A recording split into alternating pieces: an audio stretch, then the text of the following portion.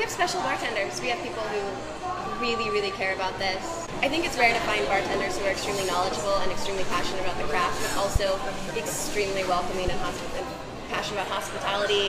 Everybody legitimately gets along and likes each other too in Kansas City. People in other cities have actually like noticed that, like bring it up to us every time. I think we all want to work together to make sure that we get noticed and that we have the strongest team we possibly can. You know, we all spend so much time around each other learning, but we learn from each other as well. like-minded people getting together, trading um, ideas, and bouncing things off of each other can only make things better. there's certain nights of the week, week that we all meet up and we all hang out, we all do things together. Uh, you know, that's what we're all about here.